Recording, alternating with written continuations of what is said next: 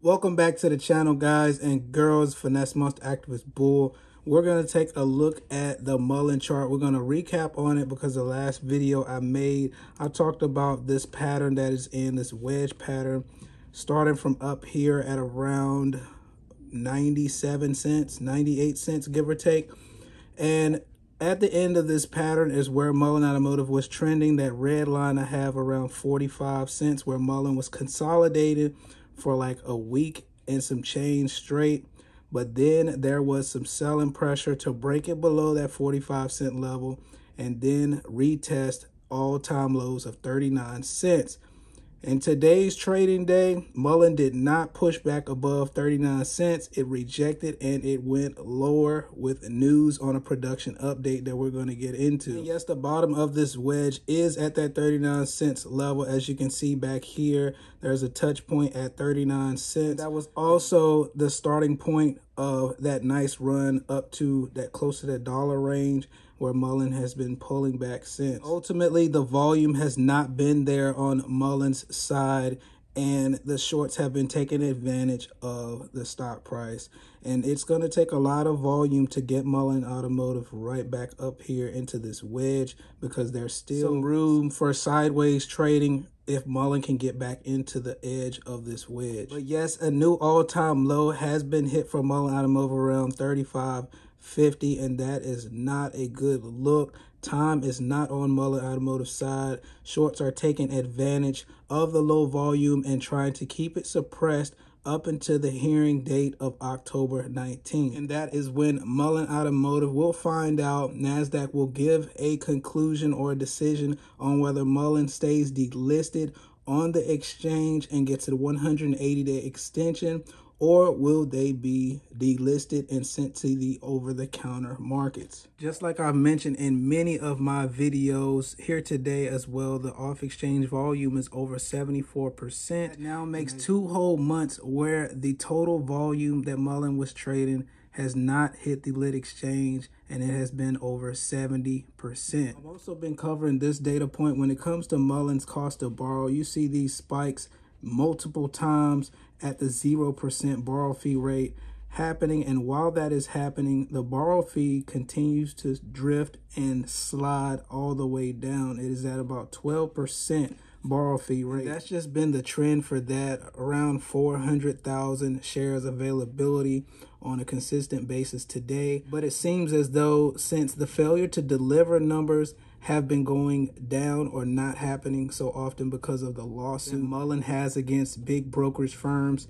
The borrow fee data has been manipulated, in my opinion, to make up for that. So Mullen did come out with a production update for shareholders, and they did say that the Class 1 EV cargo van production is on track to begin in Q4 2023, with the company producing an estimated 300 vehicles, not 1,054 vehicles like I told you guys that Randy Marion said in my previous videos. And I did also tell you guys that I could see at least 350 vehicles of the class 1 vans being delivered by Q4 simply because that's what they had 350 vehicles being at final assembly in Tunica back in July. But like I said, those were just my thoughts um, people are saying that they're waiting on airbags for the other vehicles out of the 1054 that Brad was talking about being already produced and that wasn't officially announced and no one seems to know where these vans are.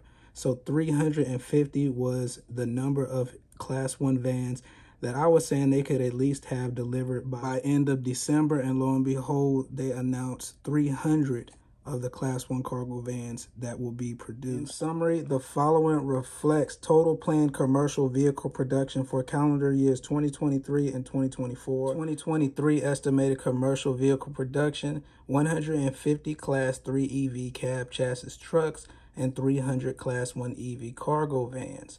2024 estimated commercial vehicle production, 850 Class 3 EV cab chassis trucks, and 6,000 Class 1 EV cargo vans. David says, I am proud to say both our Class 3 production acceleration and our Class 1 manufacturing preparations are on track at our Tunica assembly plant. We have firmed up our production schedules for 2024, which align with our existing customer orders and provide ample room for additional customer demand. With all that being said, in the short term, and in my personal opinion, time is not on Mullen Automotive side, no matter what updates they have been putting out. I can't really say right now whether I believe Mullen will get the 180 day extension or not, but I do believe that if they do, in fact, get it approved, there will be some upwards pressure in the stock price. But for how long will it last? And will there also be another reverse stock split coming if Mullen cannot reach a dollar organically going into the end of this year. As I said again, with the time not being on Mullen's side, a lot of things that Mullen has going does take time, unfortunately, especially with a lot of other companies. But as far as like the lawsuit, that's going to take a lot of time in order to get any results, as well as getting to some significant revenue for the company. And that's what Mullen needs. Mullen needs right now, example, the buyback. No more shares have been bought back besides that 5 million.